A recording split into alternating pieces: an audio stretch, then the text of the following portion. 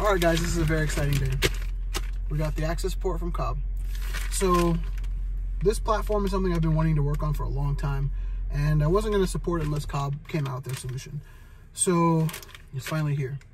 So we just got this. The first thing we're going to do is we're going to update the access port, take it inside and update it, and then we're going to get back out here and install it. So let's start that process now, and then we'll get back in here and start the install.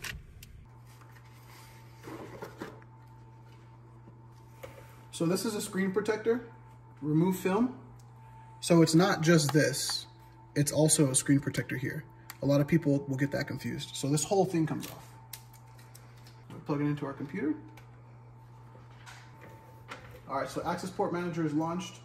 We go to Updates, check for firmware update, and it's using the latest firmware update.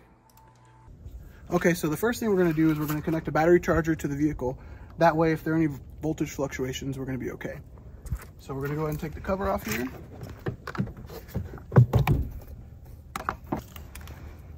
Connect the positive, negative. Start up the charger and go inside the vehicle. Alrighty, so we're gonna power up the access port here. All right, so what we're gonna do now is we're gonna install the access port. So I've keyed on and I'm gonna turn the air conditioner off and then uh, go to okay, install. It recognizes the vehicle. So I'm gonna pick the map. Now, if you've purchased from me, you're going to have a map with your name on it. If not, then these are all OTS maps here. So we're gonna pick the Performance 91 Octane with OEM plus TCM.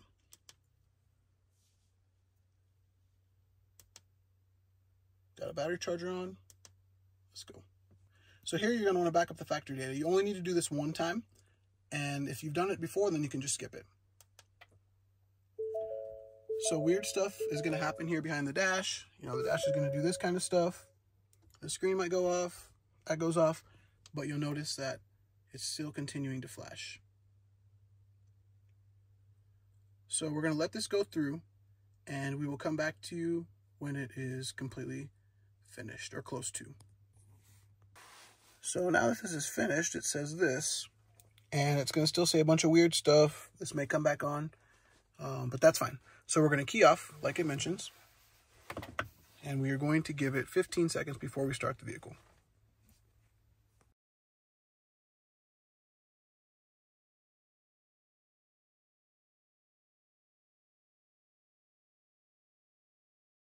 Currently in the new uh, 2023 Explorer ST. Um, Cobb is going to be releasing software for this, and so uh, we're just taking our, our uh, steps to get to the dyno today, do some baseline testing. Um, I want to throw uh, E40 in, E50 in, and see what it does on E50. But uh, yeah, I'm super excited to, to support this platform. This is something I've wanted to do for a long time now, and it's exciting to see that Cobb that Cobb is finally uh, Cobb is finally supporting this. So the, the Cobb Access Port device is something that you guys know about, something that you guys really enjoy, and it's the only platform that I tune on. And so to have Cobb now into this ST group uh, a couple years later, uh, just like they did the Raptor, um, and successful there, uh, it's, it's going to be a joy to finally get in, into the ST. So we're going to get here, we're going to go to Hammer Performance because these, these vehicles need a linked dyno, and we're going to start our testing today. I've been doing lots and lots of street testing. I probably have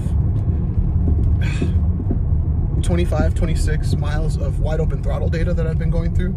So it's been put through its paces already. This car has 2,800 miles and lots and lots of them are quarter mile runs, uh, wide open throttle pulls, um, just a bunch of a bunch of testing. So I've, I've had this now for I think six weeks, four, four to six weeks. And yeah, I've been driving it a lot. So we're gonna get on the dyno today uh, and, do some fine tuning. I've had a lot of people ask me um, what I expect from from the numbers wise from this car. And to be honest, I don't really know. Um, I see numbers, dyno charts all over the place. I see Dragy times all over the place. Uh, but these numbers here that are gonna be um, given today are gonna be my numbers. My dyno, my baseline, uh, my 91 tune, uh, my E85 tune, or E50 tune in this case. Uh, so we'll see what it does. Uh, I'm not 100% familiar with this platform. I am familiar with Ford though, Ford EcoBoost, and the nice thing about that platform, or this platform as well included, is that a lot of it translates over very easily. Looking over the tables initially, uh, a lot of it's the same. So it's just a different engine. Um, it's going to respond a little bit different, but the calibration aspect of things is, is going to be very close. So I don't expect there to be many holdups here. Um, I expect it to be pretty straightforward. Uh, but we'll see. We'll see what the dyno does, and we'll see what kind of numbers I get.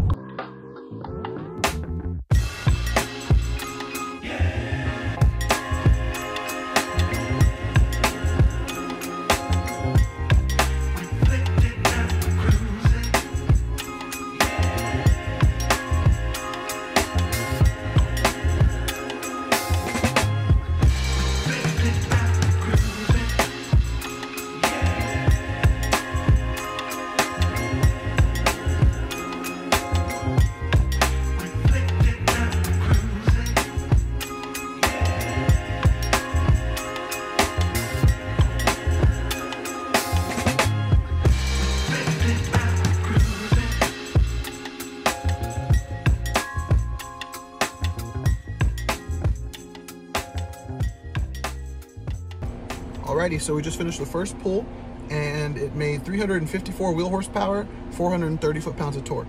And that's stock tune, so that's that's not bad. This thing feels good. Um, it's actually right up there with uh, a Raptor, a Gen 2 Raptor, Gen 3 Raptor, so pretty close. Um, I'm hoping I'm hoping we can get the same results as a Raptor. That'd be awesome.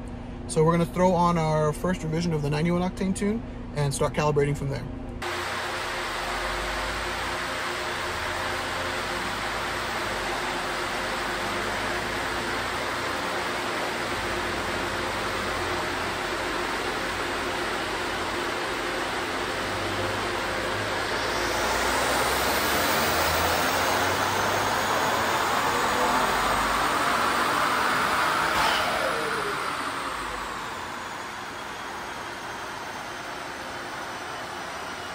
All right, so we just finished up our pulls on our tune, and the first pull out of the gate made 423 wheel horsepower and 444 foot-pounds of torque.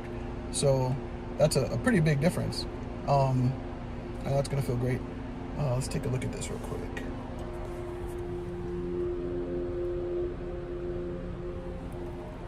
Yeah, so that's awesome. So we're gonna work on the tune some more, uh, make some more changes, and then go from there. I want to show you guys how long it takes to flash a tune. So I'm going to turn the car on and I'm going to hit flash. Now this is awesome because it's super quick. So I made a few changes to fueling and ignition timing. And at this point, um, I mean, I, I guess I'd like to see 450 horsepower. You know, I'm not too sure if that's possible, um, but we'll, we'll, shoot for it. Right now it's at 423, which is pretty good.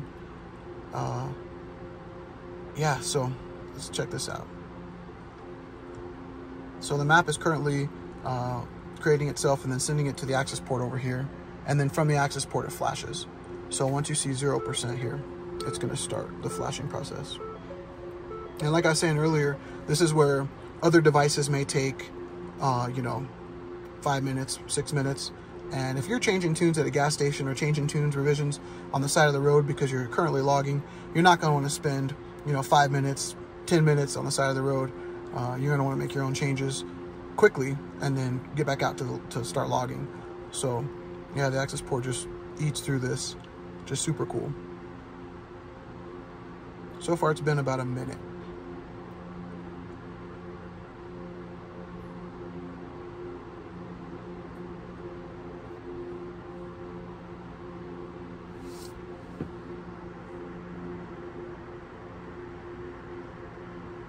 Feel free to fast forward.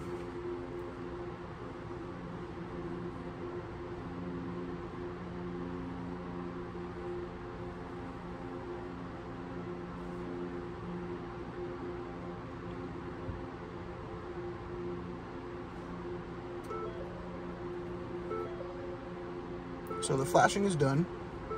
Dash came back on.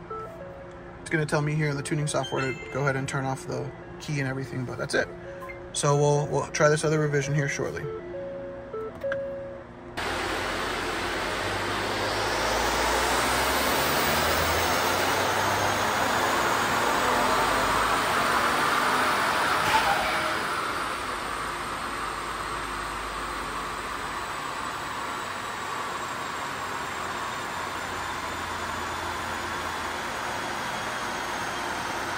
Alrighty, so I think we finished up our 91 octane tuning. Um, we made 436 wheel horsepower and 450 wheel torque. So that's awesome. Uh, it's a pretty big jump in power. I'll go ahead and post the delta here.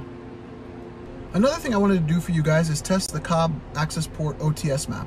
Now this was a map that is made by the engineers at Cobb and these guys put a lot of effort, a lot of time into testing this, soak testing it. And so I want to show you guys the results from this because it's interesting. Um, I've been running this map for a while now and it's it's been perfect. It feels great and it's safe. So check this out. The red line is the OEM tune at 354, 430. And the blue line is the Cobb map at 383, 437. So you can really see the big difference in, in the power, especially up top. Um, a solid 30 horsepower. So it comes with the access port. It's included for free. So that's just another benefit. And this is 91 octane, so 93 octane is even going to be better.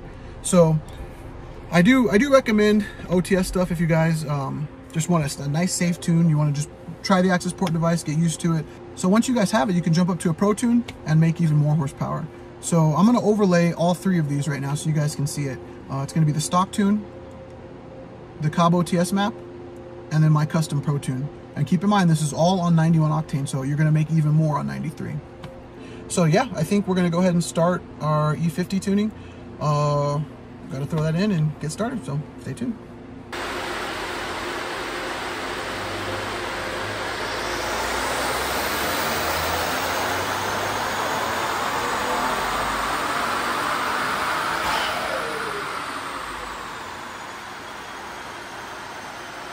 Well, we're all finished up for today. Um, I ran out of time, so I'll have to come back, but we're sitting at 473 wheel horsepower and 468 foot-pounds of torque, so that's awesome, especially for the first day on the dyno. So um, I still have downpipes I got to put on uh, with thermal exhaust, um, so we're going to get that stuff on, and then we'll eventually come back, hopefully this week, possibly, but uh, I'm shooting for between 500 and 525, so we got a little ways to go, but this is a, this is a great start. So we'll get this off the dyno and out on the road. Another cool feature that the Access Port has that I'd like to mention too is it's called dynamic pedal control. A lot of times customers will like to make adjustments to the way the throttle feels and so they'll go out and buy something that's called a pedal commander or a pedal monster. And actually the Access Port has dynamic pedal control, which is what you see here. And what this does is it allows you to set the pedal the way you'd like to set the pedal. So I like mine at two, uh, but it goes all the way up to 10. So if you like it really sensitive or you want to desensitize it, uh, it goes even into the negatives. So it really depends on what you guys want to do. Another thing the access port has is what's called auto start stop, meaning when you stop at a stoplight, it won't shut the, the car off. So I don't like that, so I'm gonna turn that off and it saves that setting. It's also got valet mode if you guys need to valet your car. And it also has uh, setting the tire size if you guys need to, to change the tire size.